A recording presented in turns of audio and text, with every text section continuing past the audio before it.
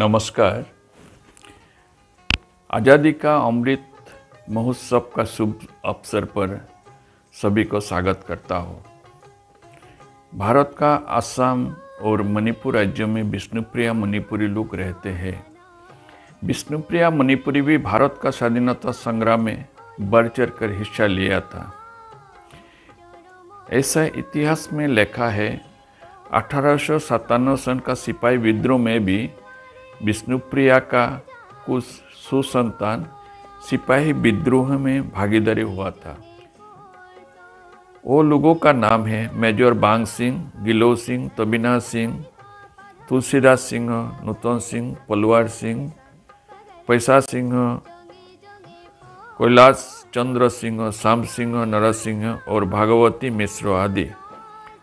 और लोगों को पकड़ने के लिए एक नया बंदोबस्त बंदोबस्त किया गया था, जिसको सिक्का बरकंदास नाम से जाना गया। अदालत में विचार होने के बाद दूसरी साब्यस्त करके किसी कालापानी में देशांतर और किसी ने दीपांतर में जाने का समय डर से जहाज़ से पानी में कूदकर जान दे दिया। बाकी बचा हुआ सभी को आजीवन कारावास और मृत्युदंड दे दिया। बांग्लादेश का शासनभार जब ईस्ट इंडिया कंपनी ने लिया था, तब तो वो लोगों का चिरस्थायी बंदोबस्त यानी परमानेंट सेटलमेंट नीति के कारण जमींदार और पुलिस का हाथ से बचने के लिए विष्णुप्रिया मणिपुरी लोगों ने बहुत संघर्ष करना पड़ा था। विष्णुप्रिया मणिपुरी गाँव में आकर पुलिस जुल्म करते वक्त मंजूरी खेत्रानी और बरगुल ओजा नामक एक आदमी ने पुलिस का ऊपर हाथ उठाकर देश सुनने पर मजबूर हुआ था। चिरस्थायी बंदोबस्त भारत स्वाधीन होने का बहुत दिन बाद उन्नीस सन में बातिल किया गया। उसके बाद भानुबोल में हुआ कृषक विद्रोह में भी विष्णुप्रिया मणिपुरी लोगों ने बढ़ चढ़ कर हिस्सा लिया था। यह में भी ब्रिटिश सरकार का पृष्ठपोषक में गरा हुआ। अत्याचारी जमींदारों ने कृषक का ऊपर बहुत जुल्म किया था। ऐसा कि वो लोगों का घर बारी वगैरह हाथी ने ध्वस्त किया गया, उस विद्रोह का प्रतिनिधित्व किया था। वैकुंठ शर्मा जी उसके अलावा निकुंज गोस्वामी गिरीन्द्र सिंह कृष्णमणि शर्मा, औरतों में लहाव खत्रियानी और बैकुंठ शर्मा का तेजस्वी लड़की कुमारी लीलावती शर्मा। वो लोग ने असीम साहस के साथ मुकाबला किया था। बाद में जाकर और भी सदस्य इस विद्रोह में शामिल हुआ था। वो लोग का नाम है बुद्धिमंत सिंह नवद्वीप सिंह, विद्यासागर सिंह और दीनानाथ सिंह। ब्रिटिशों ने भानुविल का प्रतापी सज्जन चौवा सिंह का प्रशासन घर आठ दस हाथी लगाकर सैन्यों का सहयोग से ध्वस्त करके वहाँ पर वो लोगों का कैंप बनाया गया। इतना होने का बावजूद वो लोगों ने ब्रिटिश सरकार और जमींदार के साथ कभी मीमांसा पर नहीं किया और किसी ने विश्वासघातकता भी नहीं किया। वो लोगों का एक ही पन था, करेंगे या मरेंगे। बाद में जाकर सिलेट जिला कांग्रेस ने कांग्रेस आंदोलन को समर्थन करके आंदोलन और जोरदार किया था। वैष्णव मंत्र में दीक्षित मणिपुरियों ने महात्मा गांधी का अहिंसा नीति ग्रहण करने के बाद सिपाहियों में आकर जब जुल्म करता था, तब शंख, घंटा सेल्फुंग आदि बजाकर सभी को जागृत करता था। हाथी लेकर आने से ढाकडुल और करताल आदि बजाने से हाथी भाग जाता। इसी घटना का समाचार सुनकर कांग्रेस पार्टी का सभापति पंडित जवाहरलाल नेहरू भी भानुबिल में आकर संग्रामियों के साथ मुलाकात किया था। उनके अलावा कलिकता का बंकिम मुखर्जी और नेताजी सुभाष चंद्र बोस भी वर्तमान बांग्लादेश का कुलावर में एक जनसमावेश में योगदान करके वापस जाने का वक्त भानुविल में जाकर मणिपुरियों का वीरत्व का प्रशंसा कर, करते हुए वो लोग का सामने प्रेरणामूलक वक्तृता दिया था। ब्रिटिश ब्रिटिश सरकार ने कांग्रेस का साथ एक समाधान में आने के लिए उन्नीस सौ अट्ठाईस सन में साइमन कमीशन भारत में आने के बाद महात्मा गांधी का नेतृत्व में साइमन कमीशन को बैकट करने के लिए विख्यात तो आयन आयन अमान्य आंदोलन का शुरू किया। तब तो विष्णुप्रिया मणिपुरी का कुछ देश प्रेमी व्यक्तियों ने नौकरी में रहते हुए भी कांग्रेस में योगदान किया था।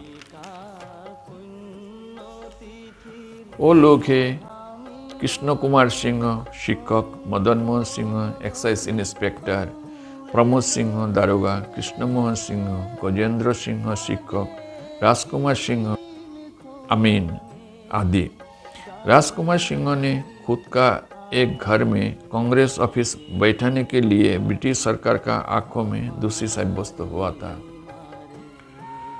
उन्नीस सौ इकतीस सन का स्वाधीनता संग्राम में हजारी चौक का समाकांत बाबू ने शस्त्रिक नुंगलीमा देवी के साथ मिलकर नेहरू जी का सामने कांग्रेस में योगदान किया था।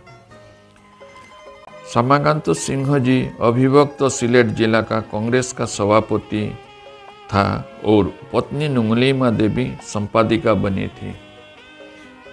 पार्टी में सक्रिय होने के बाद पुलिसों ने उस परिवार का ऊपर इतना जुल्म किया, वो वर्णन नहीं किया जा सकता। घर में कुछ रहने से जैसा बासन पत्र या गरु वगैरह गरु भैंस वगैरह रहने से भी पुरु करके लेके जाता और सामाकांत बाबू को हमेशा सुख पर रहना पड़ता था। 1942 सन भारतीय स्वाधीनता संग्राम का चरम परिचय आंदोलन का आग पूरा देश पर फैल गया। बंगाल प्रोविंशियल कांग्रेस कमेटी का तरफ़ से करिंगगंज सब डिवीज़न से समाकांत बाबू को बताया गया। तब समाकांत बाबू का नेतृत्व में आंदोलन का प्रस्तुति हुआ। उनका सहयोगी बहुत संग्रामियों ने उस आंदोलन में हिस्सा लिया। चारों तरफ़ देशभक्ति, स्वदेशी गानों का लहर गूंज उठा, लेकिन वो लोग ज़्यादा दूर जा नहीं पाया। उसी समय पथारकांदी थाना का दारोगा बनमाली के का बनमाली केवट का नेतृत्व में एक पुलिस दल ने सामाकांत बाबू और कुछ सहयोगी को बाजारी छोरा नामक स्थान पर गिरफ़्तार कर लिया। उसके बाद उन्हीं लोगों को करिंगगंज जेल में भेज दिया। वहाँ में राजबंदी होकर कुछ दिन रहना पड़ा और तीन सौ रुपया जरिमाना देना पड़ा। उन्हीं का एकांत सहयोगी होकर स्वाधीनता संग्राम में कांग पड़ने वाला का नाम जैसा ताराचंद सिंह, कुमार सिंह, कालाचंद सिंह जिलाकुंबा सिंह, कुबेर सिंह आदि। संग्राम चलाने के लिए रुपया का ज़रूरत भी पड़ता है। तब कभी कभी बागान हुंडी लूट करना भी पड़ता था। वो काम के लिए तीनोखाल गाँव का चौकस नेता बदन सिंह ने आगबाग लिया था। साथ में उनका सहयोगी तुकु सिंह धनहानी सिंह निताई सिंह गिरक सिंह सेनाबा सिंह तुलानंद सिंह मधुमंगल सिंह मानिक सिंह जामिराला गाँव का सोनाचंद सिंह कचुबारी गाँव का बल्लभी सिंह बिलवारी गाँव का मदन चंद सिंह चौधरी और जापिरबंद गाँव का गोपी मोहन सिंह आदि। अभी बात है, पूरा स्वाधीनता आंदोलन का कहानी बताना भी संभव नहीं होगा। यह में सिर्फ़ जो विष्णुप्रिया मणिपुरी लोगों ने बढ़ चढ़ कर हिस्सा लिया था और भारत सरकार जो लोगों को स्वतंत्र सेनानी बोलकर सम्मानित किया है, वो लोगों को जितना हो सके मैं सिर्फ़ वो लोगों का नाम बताने का कोशिश करूँगा। वो लोग है सर्वश्री रसराज सिंह नंदकिशोर मुखर्जी ताम्रपत्र पाने वाला राजा बाबू सिंह गोकुलचंद सिंह मानव बाबू सिंह नंदकिशोर सिंह विधायक राधामोहन सिंह गोसाई सिंह सुरेंद्र कुमार सिंह वो भी ताम्रपत्र पाने वाला महेंद्र सिंह बनमाली सिंह भूपेंद्र सिंह आदि स्वदेशी आंदोलन का वक्त पर गाँव या शहर में प्रचार माध्यम का अच्छा ज़रिया था स्वदेशी गान। उसी समय विष्णुप्रिया मणिपुरी समाज का जागरण कवि गोकुलानंद गीतिस्वामी और प्रतापगढ़ इलाका का देशप्रेमी शिल्पी जैसा दुर्गाचरण सिंह, नाट्यकार दुर्गाराम सिंह, अश्विनी सिंह, हेमंत सिंह, ईश्वर मिश्र ज्ञानी सिंह, कालासेना राजकुमार चंद्रशेखर सिंह सुनादन सिंह मेनो सिंह भद्र सिंह परमेश सिंह धीरेन्द्र सिंह आदि। अंत में यादों में आ रहा कुछ स्वतंत्र सेनानियों का नाम बताकर मैं ये प्रोग्राम खत्म करने का इजाज़त चाहूँगा। वो लोगों का नाम है सर्वश्री जिलाखुम्बा सिंह, कोयरेंग सिंह सुकुमय सिंह, तारालेमा देवी, अर्जुन सिंह गिरीन्द्र सिंह नरेंद्र सिंह कुकुलेश्वर सिंह आदि। भारत के इस महान शुभ अवसर पर सभी को याद करते हुए मैं आप लोगों से विदा चाहता हूँ। सभी को मेरा नमस्कार। वंदे मातरम। भारत माता की जय। आप सभी को मेरा सत सत प्रणाम। नमस्कार। Later in the year, Gandhi launched his satyagraha to break the British law that made salt manufacture a government monopoly. The long march which he began with a few followers fired the imagination of the masses. The Mahatma's strength was the ability to inspire ordinary men and women, even adolescents, to volunteer as satyagrahis. Upon his call, the trickle would become a stream, more powerful than a tidal wave, sweeping all before it. The question was, could the mighty British Empire match the force of non-violence? He tried out this non-violent soul force, not only against British colonial rule, but also to root out debilitating social evils in. The causes espoused by Gandhi were never abstract.